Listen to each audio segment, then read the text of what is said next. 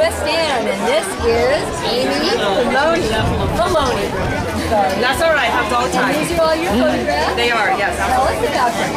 On in, let's look. Most of them are night shots. That's what I enjoy the most. So you'll see a lot in this county and uh, up in San Francisco. Oh, they're beautiful. Yeah. Look at this one. Bixby Yeah. Bridge. Yes, that was about 10 or 11 o'clock at night.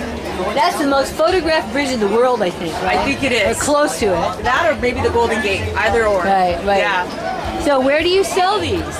Um, well, I just have a website on Facebook, and then I do a lot of the uh, festivals. I was out at Carmel Valley Fiesta last year, uh, a couple weeks ago, and uh, last year was out at the Salinas Valley, like the wine then this one. So kind of just around Take, you take your business with you. I do, absolutely, yes. Well, listen, I want to this. This is um, part of this is from my TV show. Okay. It's a bookmark. All right. Look here. There's jwwinslow.com.